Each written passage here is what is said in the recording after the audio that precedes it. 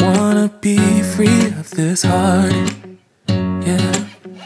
Wanna feel your arms around me. I need you more, need you here, more than I would like to admit. Chào các bạn, Riro quay trở lại rồi đây Và hơi trễ xíu nhưng hôm nay là video làm Bullet Journal tháng 11 nè Ri sẽ cố gắng sử dụng những cái công cụ nó đơn giản thôi để các bạn có thể dễ dàng làm theo ha như các bạn thấy thì trang sổ này Ri đã phát sẵn ra trước một cái hình rồi. Các bạn có nhìn ra là hình gì không?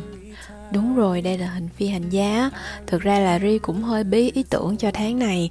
Ri muốn làm về mùa đông kiểu có tuyết rơi này nọ nhưng mà chưa nghĩ ra được cái ý tưởng nào nó hay hay và tình cờ thì Ri nhớ tới một bức tranh mà Ri rất là ấn tượng của bạn Base Me thì bạn vẽ một phi hành gia có cái bể cá bên trong.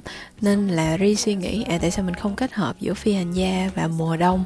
Đó là lý do ra được cái theme ngày hôm nay, đó là phi hành gia mùa đông. Chút nữa Ri sẽ vẽ thêm để cho các bạn xem là phi hành gia ở trong mùa đông nó sẽ như thế nào nha. Ok, sau khi phát xong cái hình dáng của phi hành gia rồi, Ri sẽ sử dụng bút xám để viết một cái chữ November ở bên trong thì phần này Ri sẽ viền lại bằng bút đen, tên của tháng. Sau đó thì Ri sẽ tô màu hết những phần xung quanh thành màu đen để cho phần chữ trắng này nó nổi bật lên. Đó, chỉ đơn giản vậy thôi là nhìn nó đã ra hình, ra dạng rất là xinh rồi. Giờ thì Ri sẽ dùng một cái bút highlight màu xám của Stabilo và Ri tô lên những cái phần đổ bóng của khăn hoàng cổ lên trên người của viên da. Khăn hoàng cổ này thì Ri hơi băn khoăn chưa biết tô màu gì bởi vì sợ là không phối đẹp được với những cái màu khác nên là Ri lấy đúng cái cây bút xám đó, Ri vẽ những cái đường caro luôn lúc vẽ những cái đường caro này nè, các bạn để ý là đừng có vẽ thẳng đuột mà các bạn hãy nương theo cái chiều của khăn hoàng cổ. Chẳng hạn ở đây cái tay áo nó hơi cong cong, thì cái đường đi thẳng xuống nó cũng sẽ nương cong cong theo cái chiều của tay áo. Như vậy thì nhìn tổng thể nó sẽ hợp mắt và nó hợp lý hơn. Đây, một phi hành gia mang khăn rằn đã xuất hiện rồi nè các bạn ở phía trên đầu này vẫn còn khá là trống, nên là Ri sẽ vẽ những cái hình để đệm vô. Màu xanh mà Ri chọn cũng là cái màu xanh highlight của bút Halogy mà bình thường các bạn hay sử dụng á. Cái cây highlight của Thiên Long á các bạn. Nếu các bạn gặp vấn đề trong việc vẽ những cái ô này sao, sắp xếp cho nó đẹp, thì các bạn có hình dung là đang lát những cái gạch thành hình caro. Thì thay vì các bạn tô những cái ô cho nó khác màu nhau, thì bây giờ các bạn chỉ tô đúng một màu thôi. Thì Ri đã hình dung như vậy để vẽ ra những cái ô màu xanh này cái phần đen ở trong đầu phi hành gia thì ri thấy vẫn còn có thể thêm được một tí xíu. Nên ri dùng bút gel màu trắng và vẽ những cái hình hoa thị rất là dễ thôi. Nhìn nó giống bông tuyết rơi ở trong đầu phi hành gia này, đúng không? Đơn giản vậy thôi là đã xong trang đầu rồi. Nếu các bạn muốn thêm những cái ngày của tháng thì có thể thêm ở bên dưới, nhớ chừa ra một xíu ha. Vào trang bên trong thì Ri lại tiếp tục vẽ một cái đầu phi hành gia to ở phía góc trang để tông xuyệt tông với trang cover hồi nãy. Phi hành gia này thì không có đeo khăn quàng cổ nên sẽ có nhiều chi tiết ở phần dưới hơn.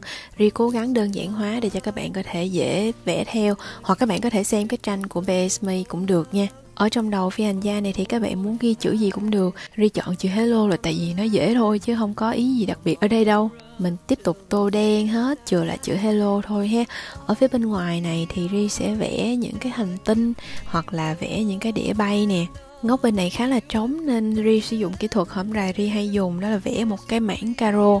Ri có cái thước này, các bạn hay hỏi nó là cái stencil hay còn gọi là thước có khuôn sẵn để mình vẽ. Chỗ này nó hơi to nên là Ri vẽ hơi hụt xíu nhưng mà thôi không sao. Cuối cùng thì mình sẽ lấp trống bằng cách là dùng bút highlight cùng màu hồi nãy, vẽ những cái hoa thị hình hoa tuyết lên. Ở đầu trang thì Ri bắt đầu ghi chữ review, bởi vì bây giờ là tháng 11 rồi, các bạn đã gần cuối năm rồi.